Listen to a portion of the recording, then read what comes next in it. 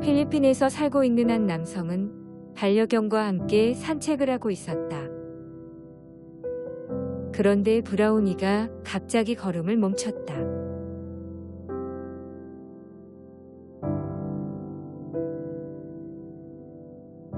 그곳에는 작은 고양이가 쓰러져 있었고,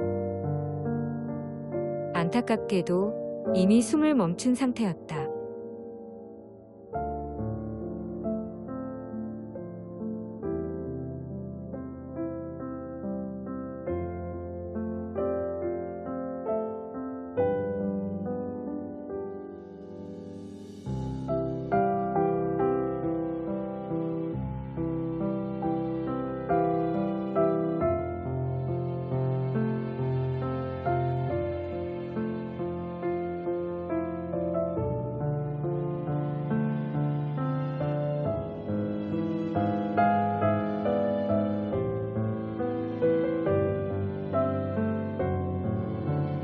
가여운 고양이는 죽은 후에도 차가운 길바닥에서 먼지처럼 사라져갈 쓸쓸한 운명이었지만 브라우니의 따뜻한 행동 덕분에 더 이상의 배고픔과 외로움이 없는 고양이들로 떠날 수 있었다.